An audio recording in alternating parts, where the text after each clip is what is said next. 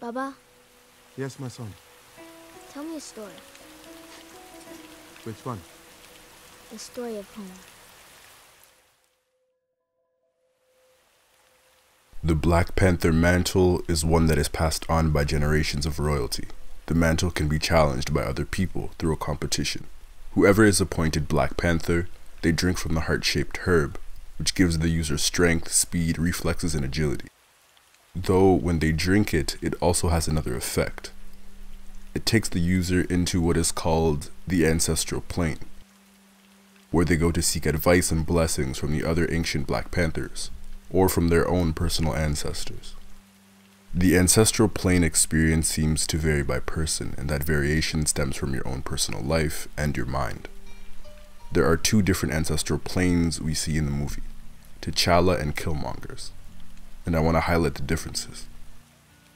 T'Challa walks out into a field in the place where he has lived his entire life, the place he calls home, Wakanda. The purple and blue lights are beautifully shown in the background, and in front of him is a large tree with literal Black Panthers resting on the tree. They represent his ancestors, the past individuals who have taken the mantle of Black Panther. As T'Challa slowly walks forward, we see what he's wearing. An elegant white robe, contrasted with the dark, ominous background, blends perfectly. And again, we look at where he is. T'Challa is in an open land, free to roam the vast landscape if he wanted to, but he is also free in his ideals and his thoughts. He is willing and open to change. Looking at his encounter with his father, it is a healthy exchange of ideas and thoughts. T'Challa is allowed to be emotional and to ask his father for help, and they converse. T'Challa is at home. Killmonger's ancestral plane, however, is different. He enters his old apartment, his old home. Nothing really has changed.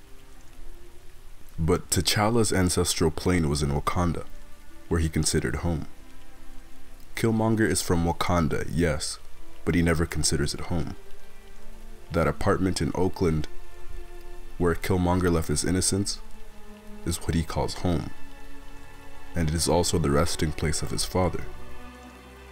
If we pause it here, a key component to this scene is that if you look outside the window, we see the vast openness and the freedom that is Wakanda.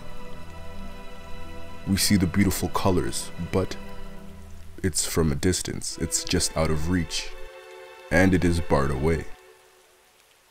This could be because Killmonger is trapped inside whether it be his own mind, or trapped in his own ideals, or that he is an outsider, and that is how he views Wakanda, just out of reach. Like many African Americans, he is stripped from his roots and his ancestors.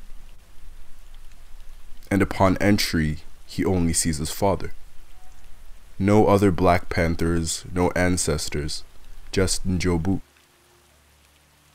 His father who didn't even get buried in Wakanda. Killmonger is detached physically and spiritually. And when Killmonger is shown, he begins as a child. T'Challa in his ancestral plane was an adult. But Erik never moved past that night when his father was killed, which is why he remains a child. Even look at what he's wearing. Erik is wearing the same hoodie that he wore that night. Emotionally, he has never come to terms with the fact that his father was killed by one of his own. And even when N'Jobu questions him about it, he shrugs it off, saying, No tears for me?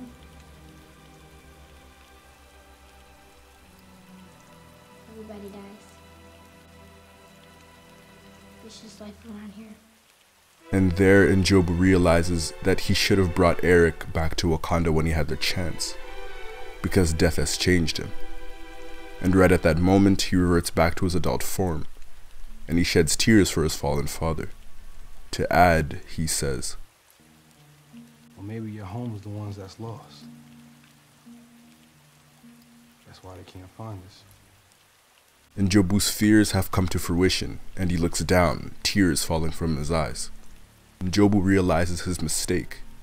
His son, now in his adult form, has anger, vengeance, and violence entwined into his beliefs, into his lifestyle, and it is now too late. In their conversation, there is no advice given, and frankly, there is no love. It just further advances and showcases Killmonger's anger. It is here in the contrast of the two ancestral planes where we can truly sympathize and understand Killmonger's anger. He is barred from his past, barred from who he is, and he is angry because Wakanda can come and save its lost people, like himself and others. Instead of a life of technological advancements and health, they get poverty. Instead of being rich with cultural pride and knowledge, they are lost. Killmonger feels abandoned and betrayed by Wakanda because they have the means to save him. Instead, he is disconnected physically, emotionally, and spiritually. His anger is valid, but his execution, violence, was not the answer. Erik Killmonger made sure to hold on to his vengeance for his entire life, up until the point of his burial. Watching the very same sunset that he dreamt his entire life of watching, but this time he watched it while breathing his final breath. Nah. Just bury me in the ocean with my ancestors that jumped from the ships. Because they knew death was better than bondage. Mm.